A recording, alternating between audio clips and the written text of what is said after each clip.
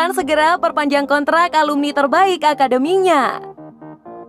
Berbagai upaya diusahakan oleh AC Milan agar bisa merebut tahta juara Serie A Liga Italia bareng Stefano Pioli.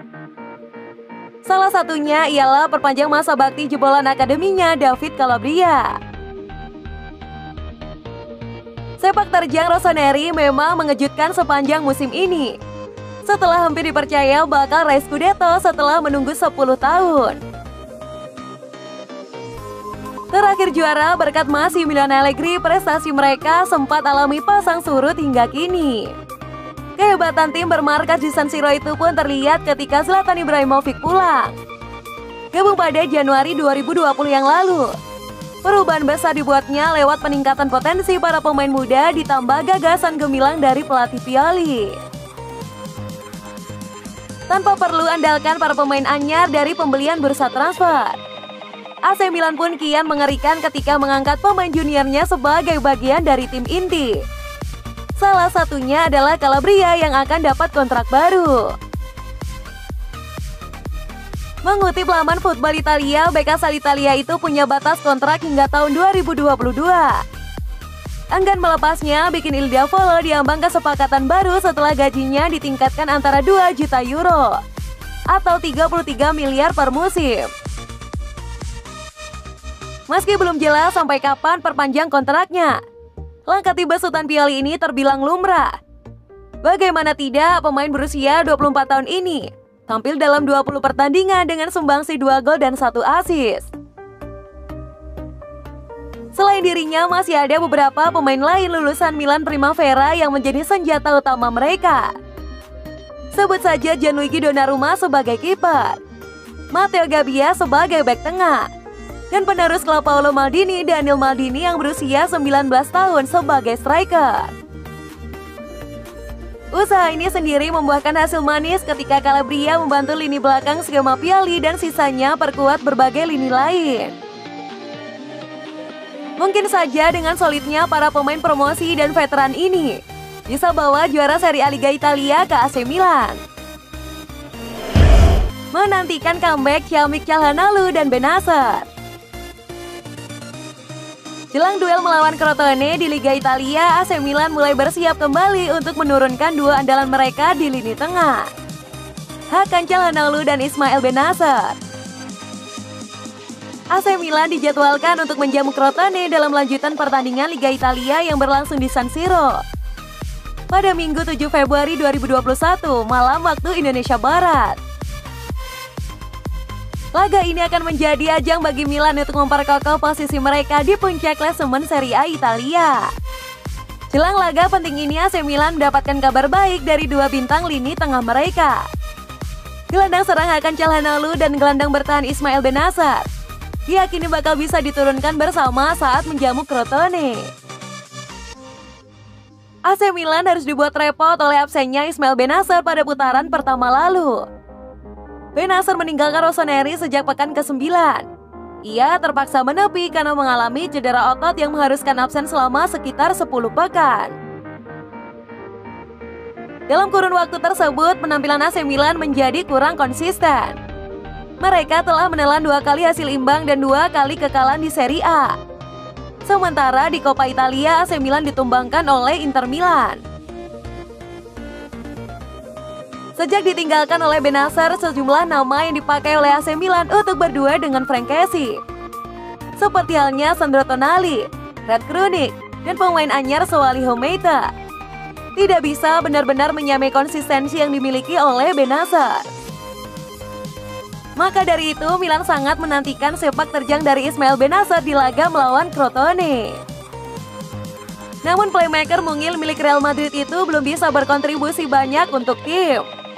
Berbeda dengan Calhanoglu, yang meskipun suka tampil angin-anginan, namun dia bisa diandalkan untuk memecahkan kebutuhan. Maka jelas betapa pentingnya keberadaan Hakan Calhanoglu di lini tengah AC Milan.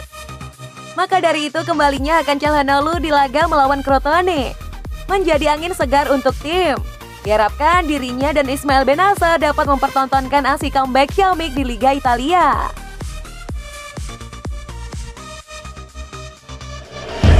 AC Milan coba saingi Arsenal dalam pemburuan defender Frankfurt.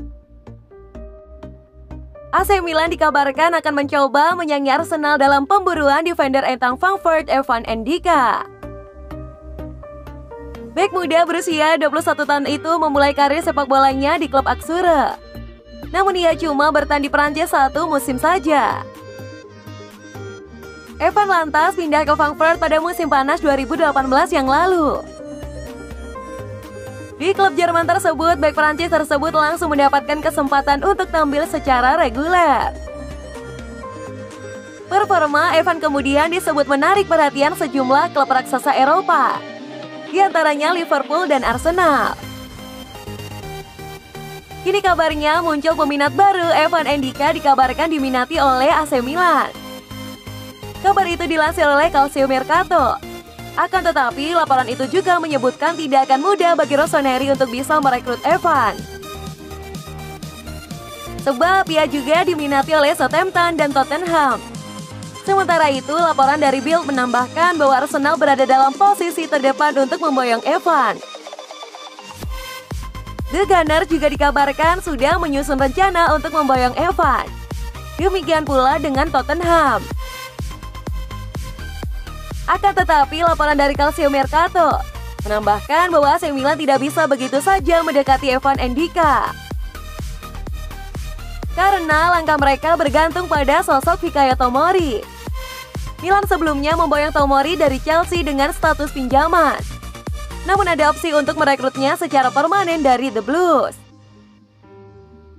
Jika opsi itu diaktifkan, AC Milan disebut harus menebus Fikayo Tomori seharga 30 juta euro. Rossoneri sendiri kabarnya begitu terpikat dengan pemain defender asal Inggris itu dan berminat untuk mempermanenkan servisnya di San Siro. Bebas pilih klub baru, Tufan utamakan Milan. Kabar baik didapatkan oleh AC Milan setelah winger Marseille Florian Tufan. Disebut menjadikan San Siro sebagai pilihan utama destinasi karir berikutnya. Milan sebelumnya memang disebut tengah mencari winger kanan baru. Mereka memang sudah memiliki Alexis Selemakers. Milan juga sudah memiliki Samu Casilejo. Namun winger Spanyol ini tidak masuk dalam rencana Stefano Pioli. Pasalnya, Casilejo kalah bersaing dengan Selemakers. Milan sendiri berharap memiliki pemain yang nantinya bisa bersaing dengan winger Belgia itu agar tercipta kompetisi memperebutkan tempat yang bagus di antara keduanya. AC Milan kemudian disebut mengincar servis Florian Tufan.